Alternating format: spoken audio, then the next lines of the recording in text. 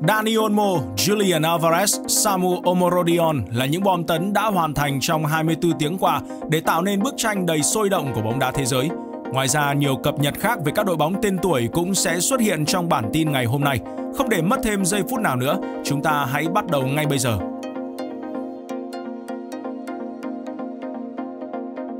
Manchester City đút túi gần 100 triệu euro khi bán Julian Alvarez. Dù chưa từng sắm vai kép chính ở Manchester City, nhưng Julian Alvarez đã mang về khoản lợi không nhỏ cho đội chủ sân Etihad khi chuyển sang Atletico Madrid. Cụ thể, ông lớn Premier League sẽ đút túi 75 triệu euro cố định, cộng với khoảng 20 triệu euro phụ phí từ thương vụ trên.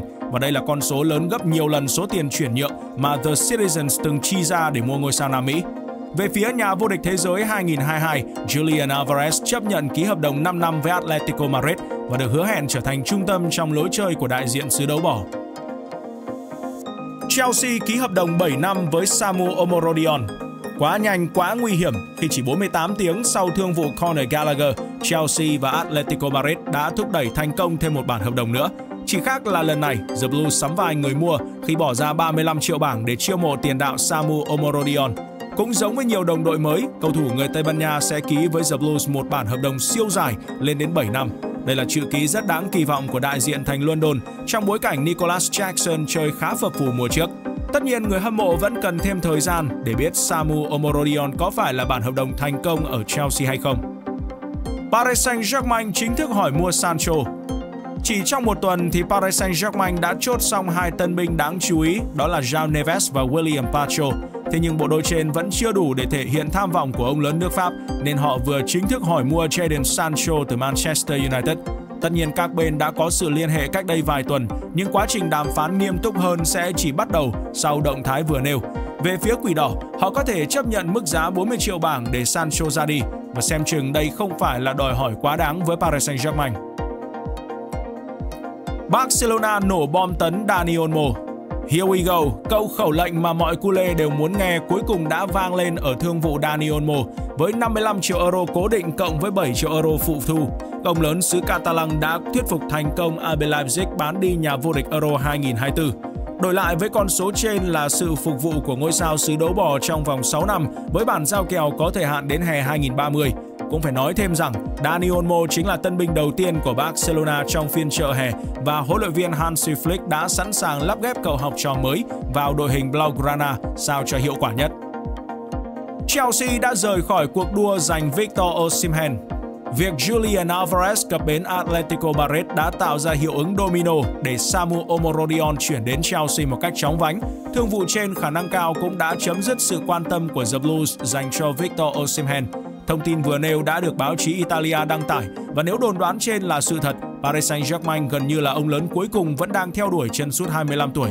Còn đối với Napoli và Chelsea, hai tập thể vẫn còn sự liên hệ xung quanh tương lai của Romelu Lukaku. Arsenal cân nhắc Leroy Sané Cặp cánh Bukayo Saka và Gabriel Martinelli của Arsenal được giới chuyên môn đánh giá rất cao, nhưng đôi khi cũng bị đối thủ bắt bài trong nhiều trận đấu. Do vậy, pháo thủ cần thêm những phương án làm mới hàng công và Leroy Sané đang là mục tiêu được nhắm đến. Cũng phải nhắc lại rằng ngôi sao người Đức từng chơi cho Man City nên không xa lạ gì với môi trường bóng đá Anh. Ngoài ra, Sané còn nhận đánh giá cao từ huấn luyện viên Mikel Arteta và đây là mục tiêu đáng để Arsenal cân nhắc. Manchester City thể hiện sự quan tâm đến Pedro Neto. Trong bối cảnh các ông lớn ở Premier League đang mua sắm sôi nổi thì nhà đương kim vô địch Manchester City là hành động khá điểm tính. Tuy vậy, với số tiền kỷ lục vừa thu về từ việc bán Julian Alvarez, The Citizen hoàn toàn có thể nổ một bom tấn ở phần cuối của phiên chợ hè. Được biết, đội chủ sân Etihad hiện dành sự quan tâm đến Pedro Neto của Wolverhampton và đã sẵn sàng cho cuộc đàm phán. Rõ ràng các fan của Manchester City đang rất muốn nhà đương kim vô địch Premier League thể hiện tham vọng bằng việc mang về thêm một tân binh chất lượng. Barcelona nhận 40 triệu euro từ nhà tài trợ. Tin vui kép đã đến với Barcelona khi vừa chốt xong thương vụ Dani Olmo thì đội bóng xứ đấu bò cũng có được khoản tiền 40 triệu euro từ nhà tài trợ Libero. Theo báo chí Tây Ban Nha, số tiền trên sẽ được chuyển vào tài khoản của Blaugrana ngay lập tức để họ có thể tái đầu tư vào thị trường chuyển nhượng. Tất nhiên, thời gian còn lại của phiên chợ hè vẫn là đủ để đội chủ sân Camp Nou bổ sung thêm các tân binh đình đám. Carlo Ancelotti muốn có Aymeric Laporte Lực lượng hàng thủ của Real Madrid đang khá mỏng và huấn luyện viên Carlo Ancelotti rất muốn ba lãnh đạo mang về một tân binh đủ chuyên môn. Hiện tại Amorek Laporte là cái tên được kiền kiền trắng nhắm đến và ban huấn luyện Los Blancos cũng rất ưng ý với lựa chọn trên. Tuy nhiên, quá trình chiêu mộ nhà vô địch Euro 2024 tương đối phức tạp về mặt tài chính. Nguyên nhân là bởi Real Madrid chỉ muốn có cựu sao Man City theo dạng miễn phí, trong khi Al Nasser hướng đến việc thu về một khoản tiền nếu bán Amorek Laporte. Sự xung đột lợi ích trên đang khiến thương vụ đình trệ và thậm chí là ekip của ngôi sao xứ đấu bò đã có những tác động nhằm chấm dứt hợp đồng của đội bóng chủ quản. Thế nhưng, con đường dẫn tuyển thủ La Roja đến với sân Bernabeu vẫn đang còn khá dài. Huấn luyện viên Maresca lên tiếng về việc Chelsea bán cầu thủ học viện. Conor Gallagher đã chia tay Chelsea và ngôi sao người Anh chính là sản phẩm tiếp theo của học viện The Blues phải rời tập thể thành London. Trước đó, ông lớn Premier League cũng chia tay không ít cầu thủ thuộc dạng cây nhà lá vườn trong vài mùa giải gần đây. Đứng trước thực trạng trên, huấn luyện viên Enzo Maresca thẳng thắn bày tỏ đó không phải là vấn đề của Chelsea mà nó phụ thuộc vào luật lệ. Các câu lạc bộ buộc phải đàm phán cầu thủ vì các quy định. Đó không phải là việc của riêng Chelsea mà là vấn đề của Premier League. Lộ diện hai huấn luyện viên ngoại cho đội tuyển Anh. FA vẫn chưa đưa ra cập nhật nào về vị trí huấn luyện viên tuyển Anh và việc này khiến các fan của Tam Sư cực kỳ tò mò. Hiện tại, ngoài các ứng viên trong nước, một số chiến lược gia bên ngoài xứ sở sương mù cũng đang nhận đồn đoán với chiếc ghế nóng. Trong đó, Mauricio Pochettino và Thomas Tuchel là những cái tên đứng đầu danh sách tiềm năng nếu Liên đoàn bóng đá Anh chấp nhận làm việc với một huấn luyện viên ngoại quốc. Tất nhiên, thời gian vẫn còn để FA cân nhắc thêm khi khá lâu nữa thì Tam Sư mới hội quân trở lại. Barcelona quay lại thương vụ Nico Williams vào hè 2025. Việc chiêu mộ thành công Dani Olmo khả năng cao cũng chấm dứt tham vọng sở hữu Nico Williams của Barcelona. Bản thân chân chạy cánh 22 tuổi cũng ngầm khẳng định việc gắn bó với Athletic Bilbao bằng cách quay lại tập luyện. Thế nhưng theo Mundo Deportivo, Barca hoàn toàn có thể nối lại đàm phán vào mùa hè năm sau nếu Nico Williams vẫn giữ được đà thăng tiến của mình.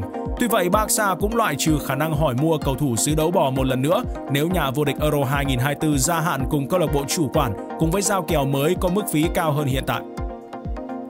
Mats Hummels bỏ ngỏ tương lai Hiện là cầu thủ tự do và Mats Hummels đã dành khá nhiều thời gian để đàm phán với Bologna về khả năng hợp tác. Thế nhưng khi đã đến rất gần một bản thỏa thuận thì ngôi sao người Đức lại đổi ý và chính thức từ chối đại diện Serie A. Do vậy Bologna cần chuyển sang các mục tiêu khác, còn bến đỗ mới của Hummels hiện vẫn còn là ẩn số.